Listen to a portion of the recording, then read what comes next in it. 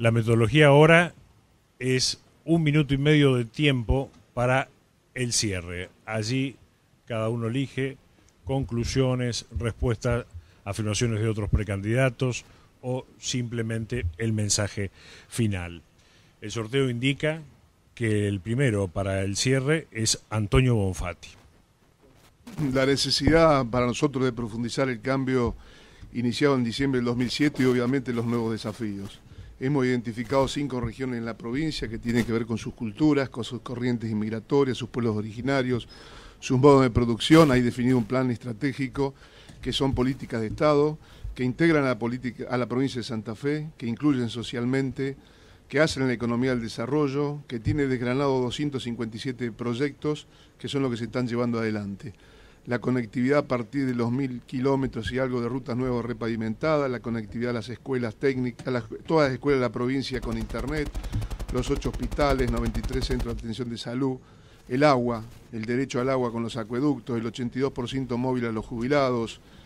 En definitiva, hay un plan que está en marcha, hay un equipo, hay experiencia, hay un conocimiento del Estado que ha generado confianza en los actores sociales, en los actores económicos y queremos que el plan no se detenga, que el proyecto no es solamente las 715 horas públicas que están generando 42 mil puestos de trabajo. el proyecto también es diálogo, es concertación entre lo público y lo privado, es acuerdo, es generar redes, vínculos, una trama que cambie la cultura, cultura política y fundamentalmente una apelación a los jóvenes que se sumen porque en definitiva son el motor de la continuidad del cambio. Como desafío, creo que el gran desafío futuro es el tema del hábitat el hábitat que es no solamente la construcción de vivienda, contemplar el medio ambiente, la infraestructura, la planificación territorial. Gracias, doctor. El ingeniero Mario Barleta, sus conclusiones. Es mucho lo que se ha realizado, pero no podemos solo quedarnos con continuar un cambio. Tenemos que animarnos los santafesinos, tenemos que animarnos a más.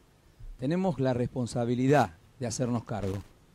Un país que hace 8 o 9 años que crece una provincia rica tenemos que trabajar para que todos tengan acceso a la educación de calidad, para que de ese modo tengan acceso a un trabajo digno, para que el conocimiento se sume a la producción, para que recuperemos el tren, para que nuestro río Paraná sea una vía de comunicación, agua potable y también energía.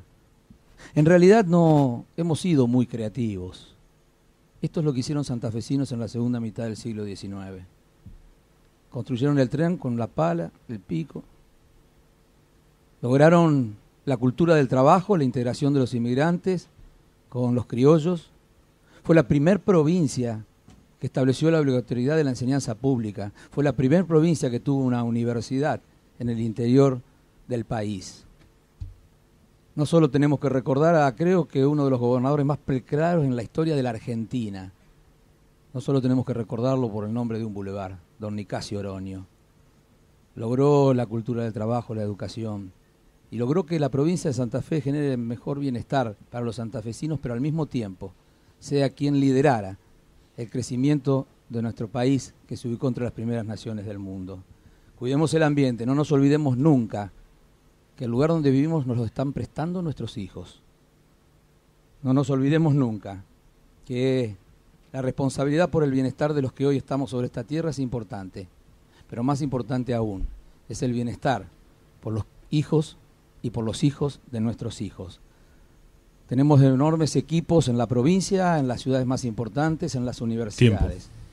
Experiencia, ideas y proyectos. Gracias. Gracias, ingeniero. El turno ahora de Agustín Rossi. El mundo ha cambiado, la Argentina ha cambiado. Por suerte tenemos una Argentina mucho mejor que la, que la Argentina que terminó el siglo XX. Esta Argentina del siglo XXI la que pensaron y diseñaron Néstor Kirchner y Cristina Fernández de Kirchner es mucho mejor que la Argentina del siglo XX. Nosotros queremos llevar a Santa Fe a esa Argentina, a la Argentina del siglo XXI. Y este no es solamente un problema de identidad partidaria, es un problema de cómo uno se para ante la gestión. Uno se puede parar ante la gestión para administrar o se puede parar ante la gestión para transformar la realidad. Y yo creo que lo que necesita Santa Fe es una gestión que transforme la realidad. No es buena una gestión que no modifique la realidad. Seguramente tampoco será mal. Por eso digo que no me diferencia del actual gobierno provincial lo que hizo, sino la sensación de que dejó mucho por hacer. Yo si soy gobernador, quiero gobernar esta provincia como Cristina gobierna la nación, no como se gobierna actualmente. Muchas gracias. Gracias. Rubén Giustiniani. Los santafesinos me conocen, me conocen por la tarea realizada en la lucha por el 82% móvil para los 5 millones y medio de jubilados que todavía lo están demandando, por la lucha para reducir la mayoría de edad de 21 a 18 años, que significó la concreción de muchos derechos para los jóvenes, los productores agropecuarios cuando conseguimos 30 millones en una ley cuando golpeaba la sequía y la crisis internacional, el primer parque nacional en la provincia de Santa Fe, a la altura de Coronda, en nuestras islas, para el cuidado de, nuestro, de nuestro medio ambiente.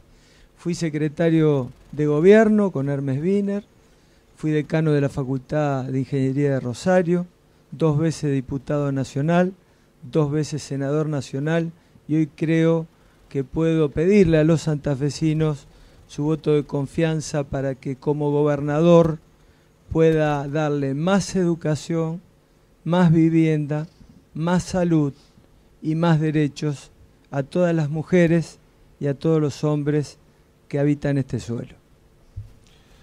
Rafael Bielsa. Bueno, este, los productos primarios que, que producimos durante los próximos cinco años, por tres razones van a tirar al alza. Por la mayor demanda, por la mayor demanda de la, del Asia del Pacífico, porque compiten con la parte industrial, la parte de biocombustible, lo cual también tira el precio al alza, y porque mucho capital financiero está colocado en títulos que son de granos a futuro. Entonces vamos a tener un magnífico panorama. Nos equivocaríamos si nos dedicáramos a exportar poroto de soja y no aceite de soja, o más todavía, biocombustibles, o más todavía, algo que le agregue mayor tecnología. Ese es nuestro enorme desafío. Dicho esto, eh, quiero hacer una mención para nada autorreferencial. Eh, Sócrates le hace decir a Diótima que el que sabe que sabe es el sabio y que el que no sabe que no sabe es el imbécil. Yo creo que hoy ha quedado demostrado que nosotros sabemos lo que no sabemos, pero tenemos que saber, que es cómo agregarle valor a lo que estamos haciendo. Hace mucho que no pasaba esto en nuestra patria. Yo creo que no es casualidad. Yo creo que hace siete años que predominan las continuidades por sobre las fracturas. Y nos ha permitido esto mirar el mundo en el que estamos viviendo, mirar la nación donde está inserta Santa Fe y mirar el Santa Fe que necesitamos. Es nada más que eso. Gracias, doctor. El turno ahora de Omar Perotti. Por más de, dos horas, a través de, la magia de la radio, nos hemos metido seguramente en muchos hogares. Ojalá la política pueda estar también todos los días allí, de vida, de cuenta de la vida cotidiana, del sentimiento de cada, de cada mujer que quiere oportunidad de igualdades, que quiere educación para sus hijos, de cada joven que sienta que tiene expectativas y que hay futuro en esta provincia, de cada hombre que tiene trabajo, que sienta que tiene un escenario con más estabilidad, con más seguridad, del que no lo tiene, que sienta que a través de políticas provinciales puede estar más cerca de un puesto de trabajo. En definitiva, decirles que, que desde el interior, desde Rafaela, queremos ser gobernador Aquí soy el único que no soy de Santa Fe o de Rosario. Y creo en la mirada integradora del interior. Creo en los valores. Creo en los valores muy fuertes del trabajo, de la producción. Creo en el esfuerzo como posibilidad de ascenso. Por eso a todos les pido que nos acompañen en este sueño de hacer de Santa Fe la primera provincia de la Argentina.